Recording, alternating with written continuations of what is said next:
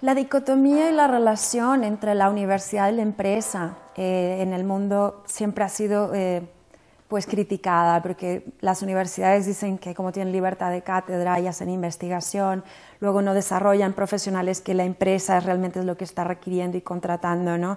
Y esa, ese vínculo de comunicación entre lo que es la universidad y la empresa eh, en el ámbito de las universidades públicas se ha criticado, ¿no? Que hay que formar profesionales que las empresas estén eh, requiriendo, ¿no?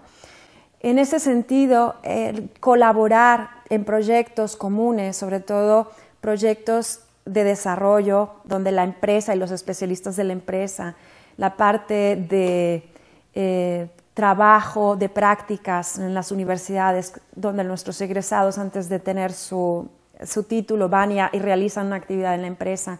De alguna manera, esto hace acercarnos al mundo laboral, pero también lo que es la investigación eh, de doctorados industriales, donde colaboran las universidades y las empresas en proyectos de investigación que tienen que ver con, tecnología.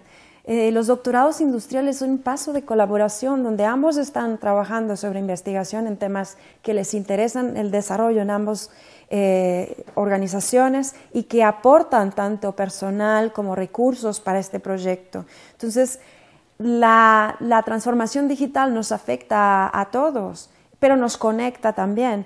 Y saber que no podemos resolver problemas solos, sino tenemos que colaborar, es parte de, cómo resolver problemas.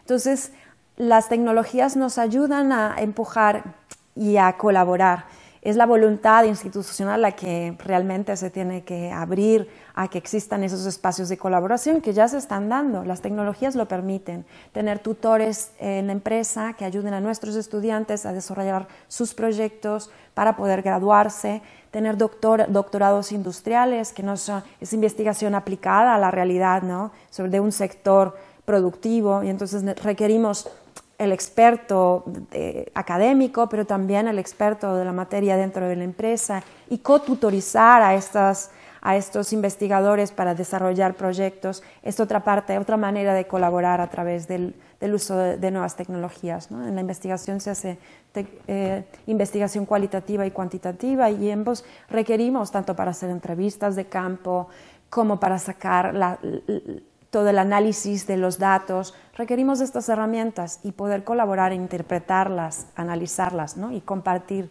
que se ha investigado antes sobre el tema para poder implementar realmente una, un área nueva, una, investigación que aporte algo novedoso a lo que ya se ha descubierto y seguir avanzando como sociedad.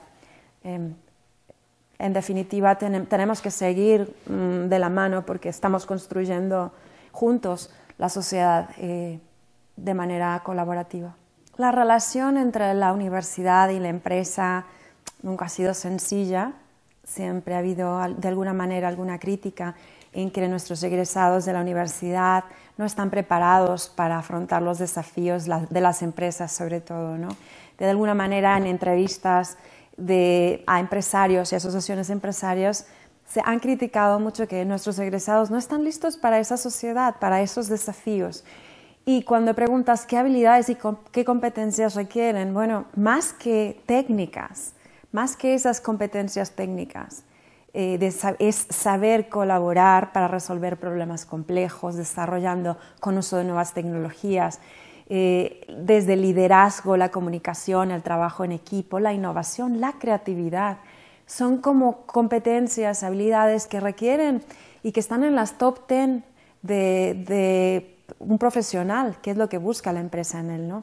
Luego, las tecnológicas o las del conocimiento per se eh, vienen en una segunda instancia, ¿no?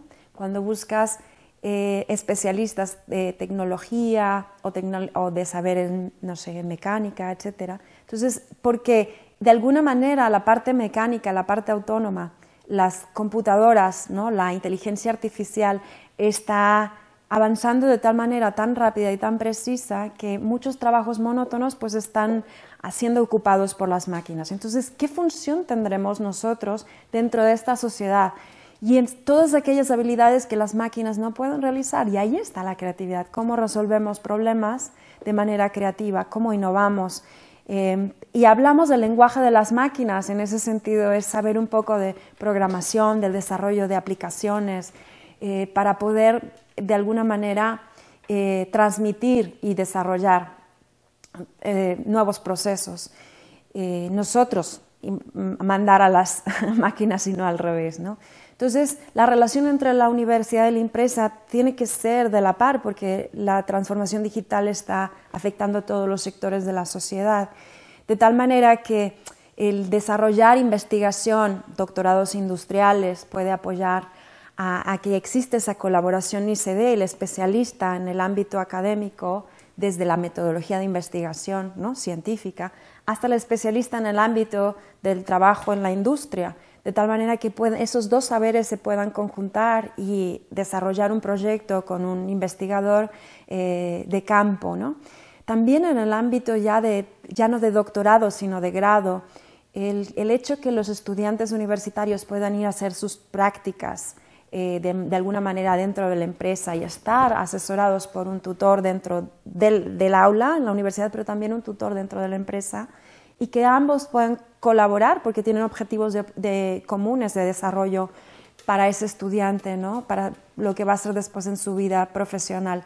Entonces, esta es otra manera de colaborar entre la industria y la universidad eh, a través de también nuevas herramientas digitales, que, donde hay comunicación, donde hay trabajo en equipo, donde se puedan eh, apoyar, ¿no? El, no desplazarse, pero dando apoyo a través de la tecnología a, los, a nuestros estudiantes. Entonces hay un gran trabajo que hacer, no se pueden eh, trabajar de manera aislada, tenemos que colaborar porque en, definitiva nuestros problemas que son globales nos afectan a todos y la sociedad tiene que dar una respuesta en conjunto. Y, y nosotros tenemos, las universidades tenemos que promover esa colaboración.